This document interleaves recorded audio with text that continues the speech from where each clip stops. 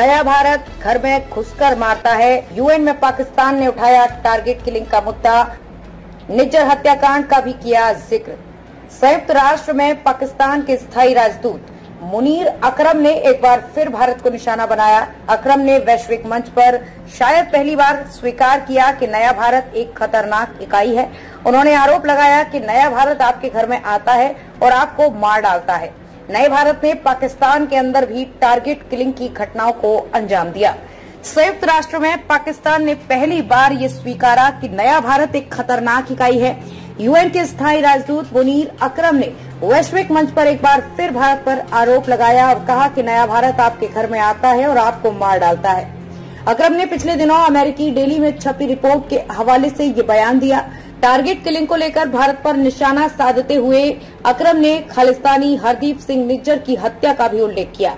उन्होंने कहा कि भारत सरकार विदेशी धरती पर रहने वाले राजनीतिक विरोधियों का खात्मा करने के लिए पाकिस्तान के अंदर भी इसी तरह की टारगेट किलिंग की घटनाओं को अंजाम देते हैं। पाकिस्तान ने यूएन में उठाया टारगेट किलिंग का मुद्दा। दो मई को महासभा को संबोधित करते हुए अकरम ने कहा कि पाकिस्तान के विदेश मंत्री ने सुरक्षा परिषद, महासचिव और महासभा के अध्यक्ष को पाकिस्तान में टारगेट किलिंग के भारत के अभियान के बारे में जानकारी दी। उन्होंने कहा कि ये आतंकवाद केवल पाकिस्तान तक सीमित नहीं है, ये कनाडा, अमेरिका, संभवत अन्य देशों में भी इसका प्रयास जारी है। पीएम मोदी के भाषण का किया उल्लेख, संयुक्त राष्ट्र में पाकिस्तान के स्थायी प्रतिनिधि ने भारत पर आरोप लगाते हुए वॉशिंगटन पोस्ट के हवाले से प्रधानमंत्री नरेंद्र मोदी के एक भाषण का भी उल्लेख किया।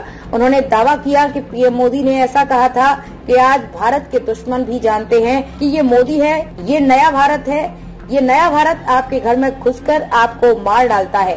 यूएन में पाकिस्तान ने आरोप लगाया कि नया भारत खतरनाक है, ये सुरक्षा नहीं बल्कि असुरक्षा प्रदान करने वाला है। दरअसल देश में चल रहे आम चुनावों के लिए प्रचार करते हुए प्रधानमंत्री नरेंद्र मोदी ने पाकिस्तान के बारे में एक महत्वपूर्ण टिप्पणी की थी। महाराष्ट्र के लातूर में एक चुनावी रैली में प्रधानमंत्री मोदी ने कहा था कि आज भारत डोजियर नहीं भेजता है। आज भारत आतंकवादियों को उनके ही घर में घुसकर मारता है। अगर आपको वीडियो पसंद आई हो तो वीडियो को लाइक करें, शेयर करें और हमारे चैनल को सब्सक्राइब करना ना भूलें। अपने सपनों का घर बना रहे हैं। एपी कंस्ट्रक्शन सॉल्यूशंस आपके लिए तैयार है। मज़बूत सिविल इंजीनियरिंग से लेकर आकर्षक वास्तुकला और विशेषज्ञ वास्तु परामर्श तक हम आपके सपने को साकार करते हैं।